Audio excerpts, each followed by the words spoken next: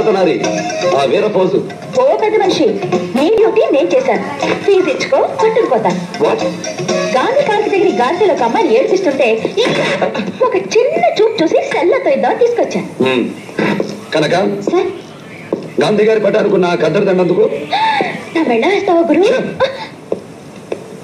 తన కర్తవ్యాన్ని నిర్వహించిన ఆమె మెడలో దండ వేసి పోలీస్ కర్తవ్యాన్ని ఫినిష్ చేయి. ఆడపిల్లకి ఆడపిల్ల వేస్తే ఏం బాగుంటుంది గురు దండ? నువ్వే మగాడివి ఇన్స్పెక్టర్ గారు పట్టుకుని గురువు గురు అంటావేమిటి?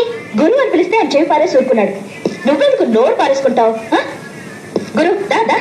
క్యాష్. యాషా మరి ఫ్రీ సర్వీస్ అనుకున్నావా? గాంధీ పార్క్ నుంచి బడతాన్ని ఇక్కడ తీసుకురావడానికి పది రూపాయలు యాభై పైసలు అయింది మీటర్ ఛార్జ్. ఎవరిస్తారు గురు? గవర్నమెంట్ సొమ్మిద్దామంటే దేశమే యాభై టన్నుల బంగారం తాకట్టు పెట్టేసింది. సో రౌడీలో సొమ్మే ఇస్తాలే.